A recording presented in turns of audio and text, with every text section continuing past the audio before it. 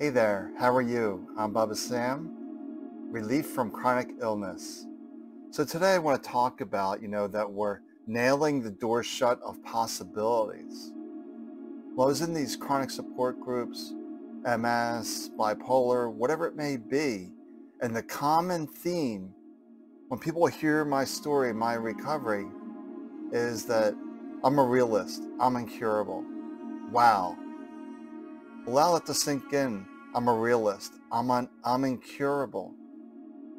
To say that you're incurable really closes the door of any potentials or possibilities for a future where this could be eliminated. We have no idea. We have all these mental stories, but we really don't know what the future holds. But you can close the door on the future by saying, I'm incurable, I'm stuck, this is what I have. This is why we really have this mental health epidemic. We're slamming that door shut. And when you hear somebody has a story that's too good to be true, well, it's only too, to be, too good to be true for your mind. Because your mind has all these stories that this can't be, that I've been healthy for 11 plus years, that I don't need the cane, the medicine, I don't need any of this anymore. But I was never focused on healing though. I just wanted inner peace. So when we're talking about relief from chronic illness, relief from poverty, bad relationships, whatever it may be, the relief begins from this place of peace, of becoming aligned to who we really are. And this is difficult for the mind to comprehend because we are identified with our thoughts. Your thoughts are your reality. I'm depressed. You are depressed. It's actually the body is depressed. The mind may be depressed. But the spirit, the one who sees through the eyes, is not depressed. It just sees it as the current human experience. But you keep closing that door of possibilities. You keep nailing it shut. And that's not helpful. We got to take back our power. And I was guilty of this as well when I was sick for 38 years, it was the doctors, the knowledgeable ones that were responsible for me. And know what happened? I was getting sicker and sicker and sicker. And they talk about this quite a bit, that recovery really begins when we take responsibility for ourselves by following our own inner guidance and not relying on the pressures of the mind, the demands of the mind, the demands of society, that we need to behave a certain way and believe a certain way. This is not helpful. So I want you to relax and remember why are you taking that thought as true? This is what really stuck out to me when I was seeing a psychiatrist for nearly 20 years. It was always more medicine, trying to reframing thoughts, but chasing thoughts with thoughts. He never once said to me, why are you taking your thoughts as truth, why you take your beliefs as, as truth.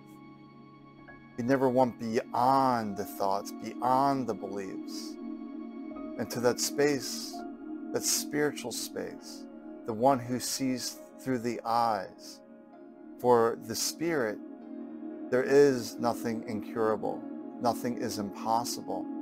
Because the energy that's created this room, the sun, the universe, Everything stemmed from consciousness, from spirit, or God, or Allah, whatever word resonates with you. We don't want to get hung up. Inner guidance within us sometimes doesn't speak in words. It's a nudge. It's a feeling that you need to go do this, that you need to go do that. But most of us ignore that inner compass, thinking the mind knows best or someone outside of us knows what's best. But ultimately, we have to see that we know what's best for us, that we live in this body. And society is constantly telling you that you don't know what's best for you. Do this, do that, even though it's not in your best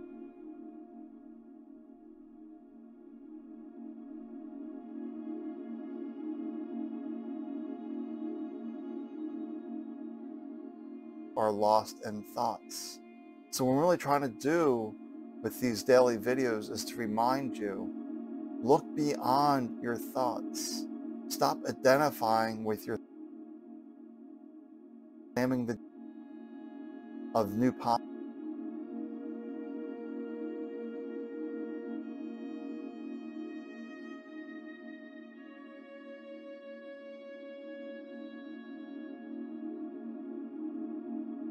Whatever it is, we just need to let go of that label, that attachment. Doesn't mean to ignore the body. We need to pay attention to the body and the needs of the body, but we got to see what feels right to us. Because you and live in this, you inhabit this body, but we are not the body, if you will. Because this body will come and go. And you see the photographs of you over the years. You don't have the same body. It's changing daily. But the one thing that does not change is the divine essence within you, that deeper essence. Soul, spirit, consciousness, whatever you wish to call it. Don't want to get hung up on words. It's more of a feeling, of feeling the silent peace within you when you can sit quietly and the mind is not distracting you, not pulling you all over the place. But I'm really surprised that when I go in these groups and they hear my story, they cannot accept that there's a different possibility, a different way.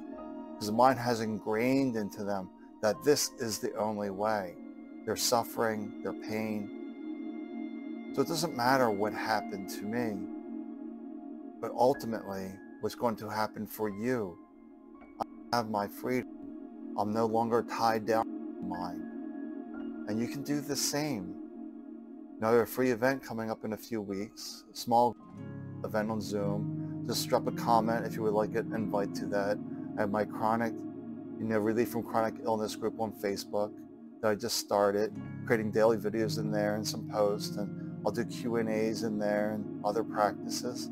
So ultimately, I want people to have freedom. That the job of a true spiritual teacher is to remind you who you are, not to fill you with concepts, with beliefs, with more mental busyness we really want to step out of all that busyness and into our greater truth of who we really are. So just relax. Just sit here right now. Pause. Take a breath. Relax. Feel the peace of this moment. Let go of any future guessing, any past regrets, anything that where the mind is dragging you to the past. Forget that. Just sit here and just breathe. You're sitting, you're relaxing, you're watching me. But you're also watching yourself because we are consciousness in all these different forms, all these different bodies, in all these different shapes and forms, this room, this galaxy, this universe. We have that energy within us because we are that energy but I don't want to get too involved, too deep for you. I really want to step back and say, be mindful of your words. Be open to new possibilities. Don't nail that door shut.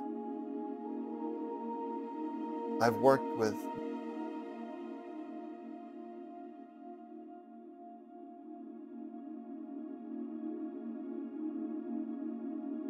quickly move them past that and give them a glimpse of two, and to give them a glimpse of who they really are.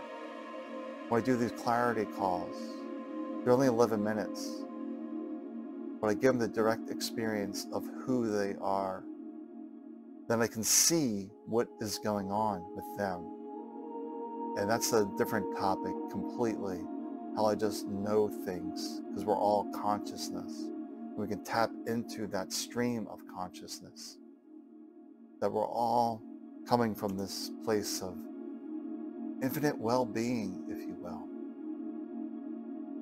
All right, my computer is acting up a little bit, but it's all good.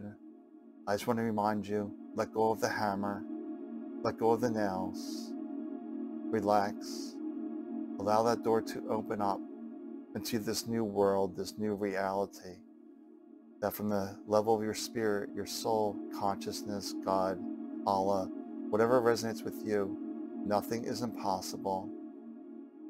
The universe is filled with infinite possibilities. Are you open to receive them?